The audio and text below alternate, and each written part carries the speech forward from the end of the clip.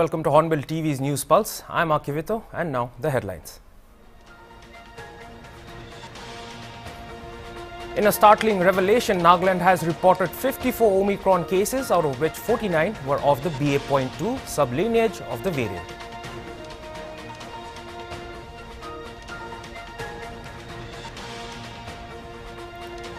Finance Minister Nirmala Sitharaman presented a fourth straight union budget today. She presented the financial statements and tax proposals for the fiscal year 2022-2023.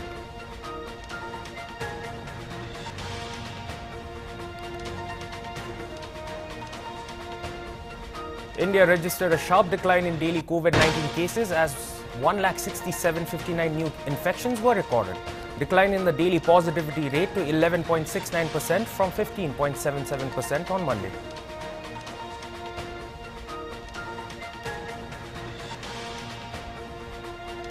Finance Minister Nirmala Sitharaman presented a fourth straight union budget today. Union Minister announced digital rupee to be introduced by RBI. RBI to issue digital rupee using blockchain technology in the fiscal year 2022-2023.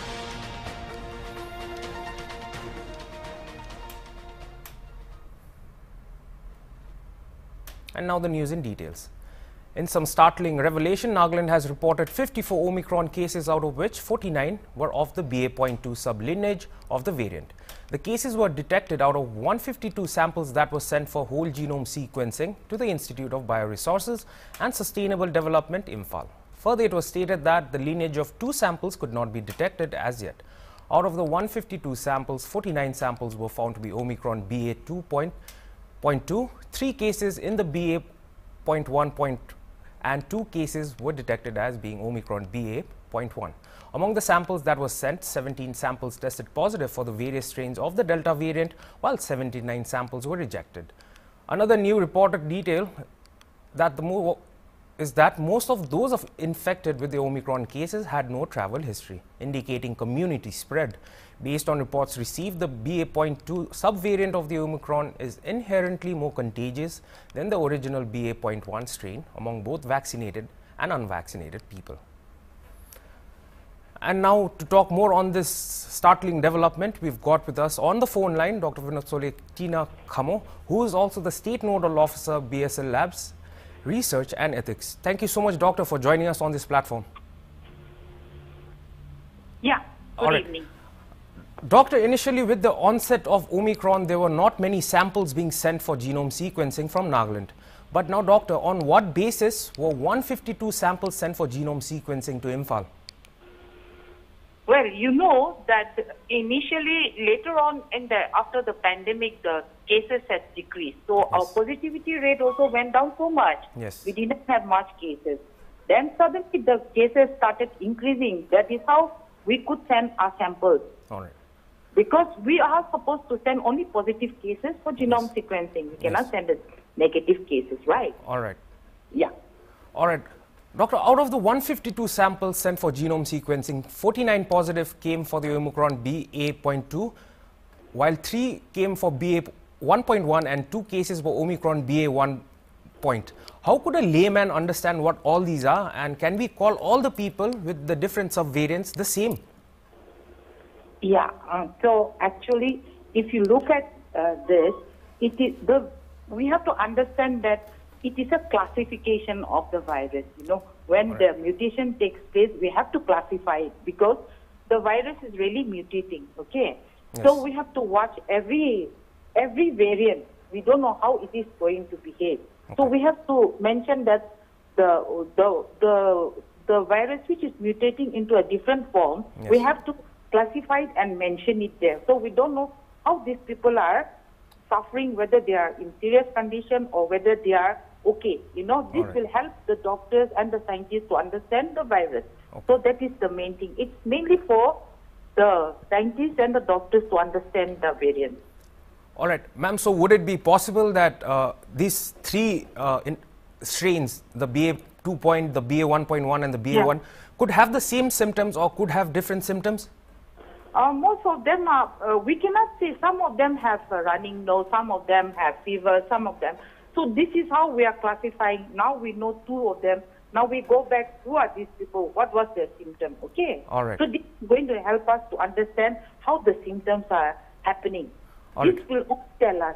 Now we know that these two cases were BA1, Yes. three cases were BA1.1. Yes. You know, so we know what were the symptoms. This is going to give information to the scientists to understand worldwide how they are behaving. We are now studying it just now. It's just happening. So we don't know how what's going to happen. This is going to help us Okay. when we classify it. All right.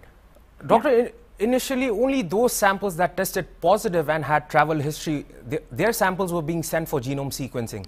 But now with the fact that out of the 54 Omicron cases, majority did not have history, travel history, it has totally shifted the balance. So now how will the state machinery adapt to that fact and what will be the government's next move in terms of more testings? So if you look at it, this Omicron is having a very high transmissibility. Yes. You can see. So it is uh, transmitting so much. It's going very fast, much faster than the other uh, the other variants. So it just has spread to the community level. It's even in a house if somebody is positive, the whole family is getting affected now.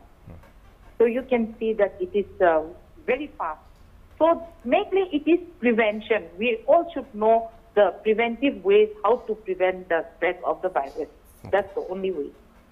All right.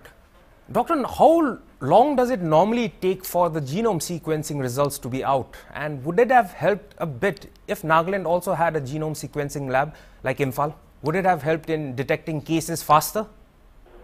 Yeah. So anyway, to do this genome sequencing, it is a, a very big thing. Okay. Um, the machine is not a cheap thing. It is very expensive.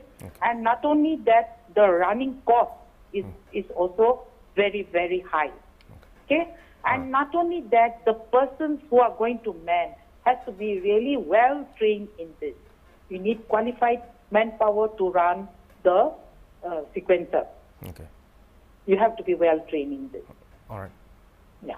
So, ma'am, is there any time period? Because uh, according to the reports, it was stated that uh, the samples were sent on 28th June, but it was received on 31. So, could we expect that the normal sequencing results take about 10 to 12 days? Yeah, it will actually what happens is that here uh, we when why the sample is uh, the the lab the time is period is long is because most of the samples are coming from the various districts. Okay, by the time it reaches us, then we have to extract the virus right. from our lab. After extracting the virus, that is the RNA, the RNA has to be sent to the place where genome sequencing is done. So uh, it's the transporting time also. It takes time bringing the and extracting the this thing. Then for the people to do the alignment of the whole sequencing. So it takes around at least five to six days. It should take.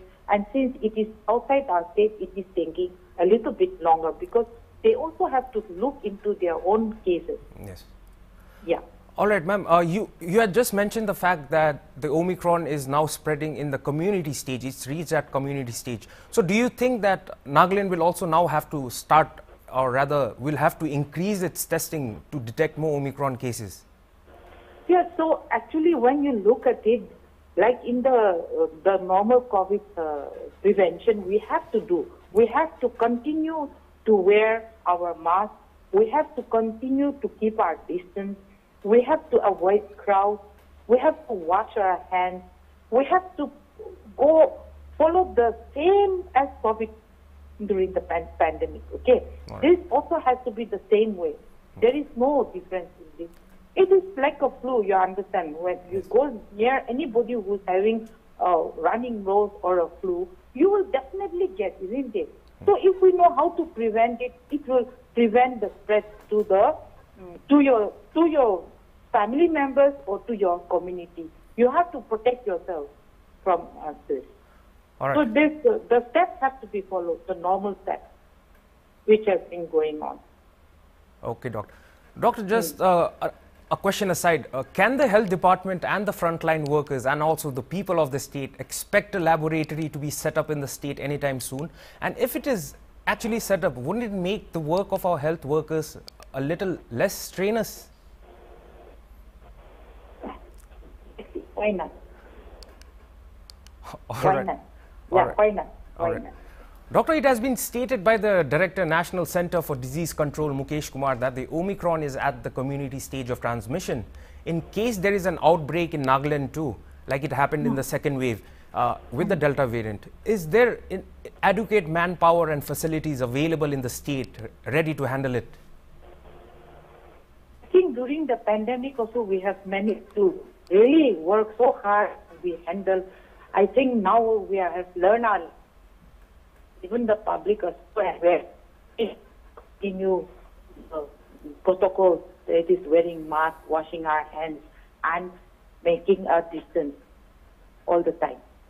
And I think if we don't do this, we can all work together. If everybody, the government and the public work hand in hand, I'm sure we can uh, handle it. Why not? All right. Doctor, I mean, uh, the, we have known that the Omicron is four times more transmissible than the Delta variant, but not to cause any panic. Do you think that the public is, since uh, there is lower rates of hospitalization and the symptoms are not as severe as the Delta variant, do you think in one hand the Naga public is being a little too lax in this wave? And do you think uh, that we should be more proactive in fighting against the pandemic? Yes, we still have to be very careful because the virus is still mutating. We don't know what is going to mutate, whether this behavior is going to change, become more severe. So we have to keep our guard. We cannot let off our guard, whatever it is. We have to continue All and right. protecting and do all the preventive measures which have been said to us. And I think we have all learned our lessons. Doctor, the country and the state, I mean, like every day we get reports of daily fatality rates and the deaths. So, how is the government being able to identify if the cause of the death was COVID's Delta variant or Omicron variant? And is there any particular process being followed to ascertain the cause of death? Um, so if a person has died in the hospital Yes. and then we know that the test has been done, because we have all the records of whoever has died, Yes. uh, because the, the test which the test has been done, we know every sample which is positive are sent for genome sequencing.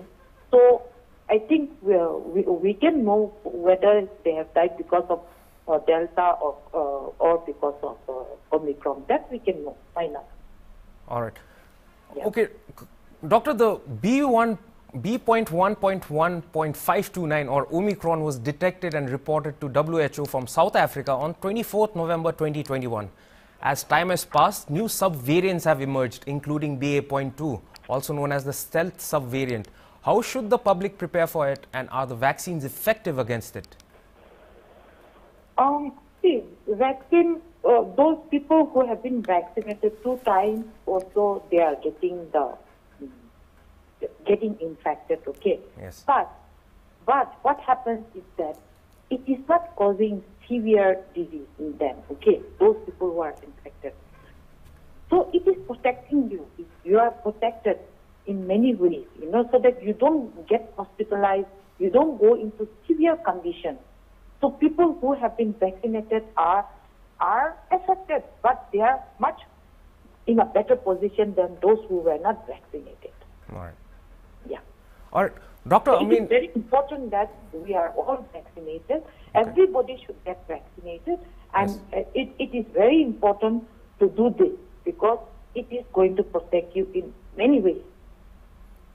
All right. Doctor, I mean, like nowadays, any new terms of any virus is really affecting our, the fear is really growing and the panic is really uh, spread, spreading worldwide. And now we already heard about the Omicron and now there's something called the stealth Omicron. Doctor, could you explain a little more as to why it's called the stealth Omicron?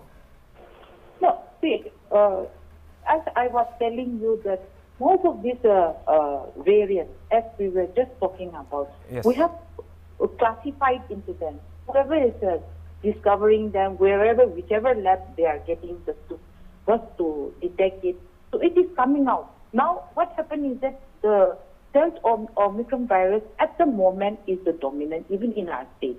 Now we are have to keep a watch on this and see whether these cases who got this variant are they going into severity or are they uh, not that serious? No, we, we will come to know later on with our data from other people's data because we are not the only one who is uh, reporting. Other people are also reporting and all, and all this report will be put, analyzed and it will come out very soon. Okay, doctor.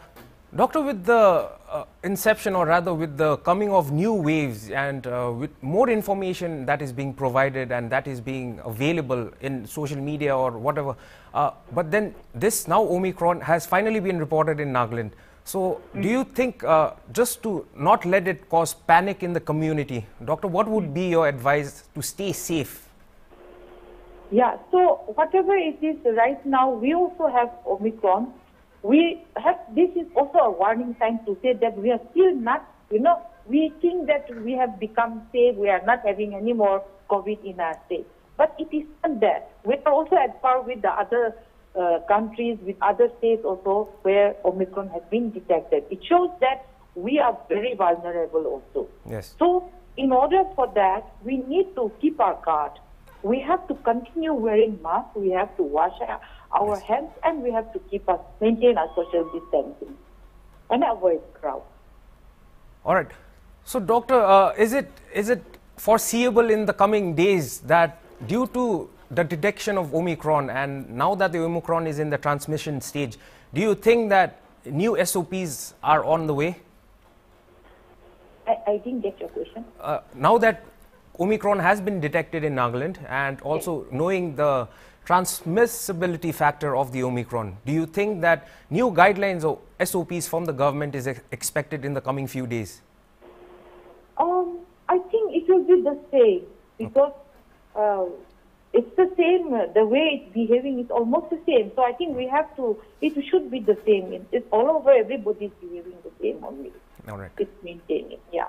All right, doctor, I mean, when it comes to Omicron and Delta, I mean, like today, everyone is only talking about the Omicron and mm. uh, the transmissibility factor. But are we giving too much lax to the Delta variant? Because when it comes to severe symptoms and hospitalizations, it was the Delta variant that actually uh, proved to be a big uh, downfall and rather gave a lot of stress to the healthcare facilities. And even in Nagaland at present, we've got a lot of Delta variant. So are we, should we also be aware of the Delta variant? Oh, definitely. Delta has got more severity. Yes. And then you see the, hospitalization is much more also. So Delta has got more severity and we have to be very careful about Delta. All right. All right, doctor. Uh, just a very personal question. How has the past three years been for you, doctor? I mean, the pandemic came on the 2019 and it's been about three years since the pandemic. So, doctor, how has your battle against the coronavirus been and is this a winning battle for us? Uh, there's a long story to talk about and I think uh, we did so much. We don't know what was happening outside. I only know that we know what was inside the lab and how we were in our PPEs and we had to stay in hospital and give reports every day. No, nobody went home and we had to cook food, eat, and nobody could uh, be, we did not even take off. We were all working the yes. whole year. And in fact, only last year at the end, few months now, everybody managed to go home. Now we are coming from our home to the office. So we are a little bit more relaxed now. All right. So, doctor, which was the most uh, like which was the most painful part for you in that three-year journey? Was it the severe symptoms, or was it the isolation that you had to undergo?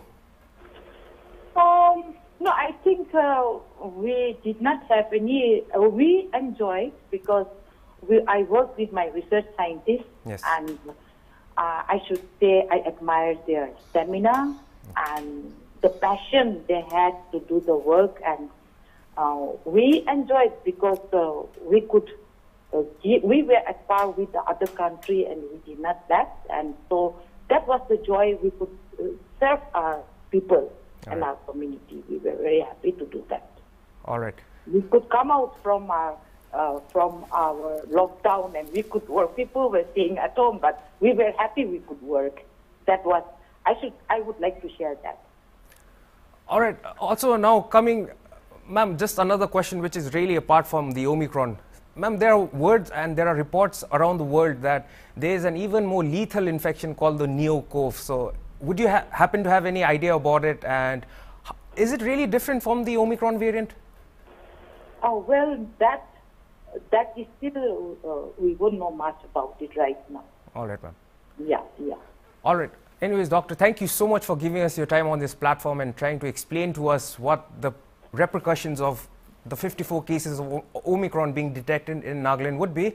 And also, and also thank you so much for all your service and all your work for the Nagas and thank you for keeping us safe. Thank you so much. All right, so th that was Dr. Vinusole, Dr. Tina, who is also the no, state nodal officer at BSL Labs, and also she is the one handling the genome sequencing uh, test that all the samples that are sent from Nagaland goes through her. And she just explained that at the moment the scientists are trying to ascertain the different variants of the Omicron, and that's how the stealth, uh, stealth variant, stealth Omicron, all these terms are coming out. And these variants are for the scientists to understand what these strains symptoms are and what effects do they produce. And Dr. has also stated that the fight is still not over and basic SOPs like washing hands, maintaining social distancing and wearing of mask is very important and essential in the fight against the pandemic. And she has also said it is nothing to panic about. The state government is fully ready to handle it. Well, now moving on to more news. The budget has allocated funds for projects related to Afghanistan. The Minister of External Affairs will have 200 crore to spend on that country. It will also dedicate 600 crore for Myanmar, which is currently reeling under civil war since the military coup of February 2021. Bhutan, as usual, has received the highest allocation with 2,266.24 crore. Noteworthy that India does not have a diplomatic presence in Kabul, where its embassy has remained shut since the Taliban took over in August Afghanistan has been a steady recipient of India's grants over the last two decades, and the government of President Ashraf Ghani last year received around 348 crore. India showcased its assistance to Afghanistan as aid-oriented, which is focused on development projects on the ground. Over the last two months, India has sent several consignments of medicine and humanitarian assistance to Afghanistan. A large-scale wheat consignment is expected to be delivered to Kabul in the coming weeks. The allocation is expected to be spent on similar assistance during the year.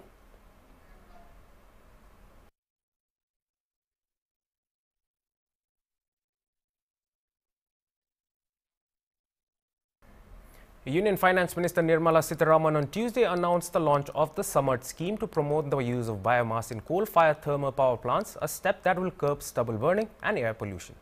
HT on January 21st had reported that the policy mandating the use of biomass pellets for 5 to 7 percent of the requirement will be mentioned in the union budget. The scheme Samarth, which is also Sustainable Agrarian Mission on use of agro residue in thermal power plants, has already taken off in about 40 of the 180 coal-fired power plants in the country. The policy was first notified in November 27, but in October last year, the revised policy for biomass utilization for power generation through co-firing in coal-based power plants was issued, making it mandatory for all coal-fired plants to use such pellets and increase the percentage of biomass to 7 percent from November this year.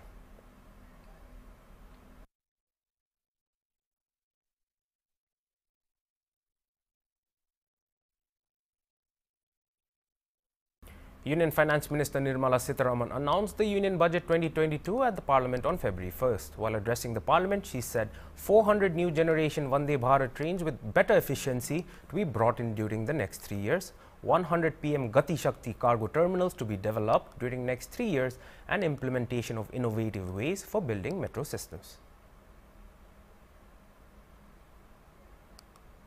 Bharat 2000 kilometer of network will be brought under Kavach, the indigenous world-class technology for safety and capacity augmentation in 2022-23. 400 new generation Vande Bharat trains will better energy efficiency and passenger riding experience will be developed and manufactured during the next three years. 100 PM Gati Shakti cargo terminals for multimodal logistics facilities will be developed during the next three years. And that was all for this hour's bulletin. For more news and updates, stay tuned to Hornbill TV. Goodbye.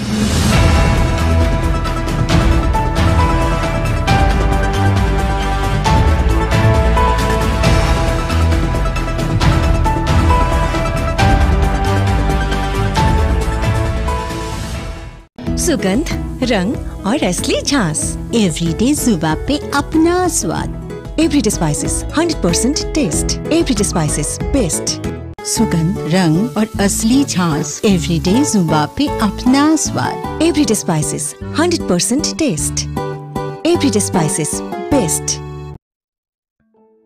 আজিকালি লগা বাচ্চা আৰু এডলেচেণ্ট কাৰণ traditional আৰু নতুন forms of digital media দে বেছি ইমাৰ্চ হৈ যাইছে Tosal majode moi kan dikhi pai ki digital media use to moi kan para interactions aro social media karne chulai. Specially aji kali laga bacha kan para digital media easily access kribo pare. Evidence kan koi ase ki idu digital media exposure para bacha kan ge early learnings, nutun ideas laga exposure, knowledge aro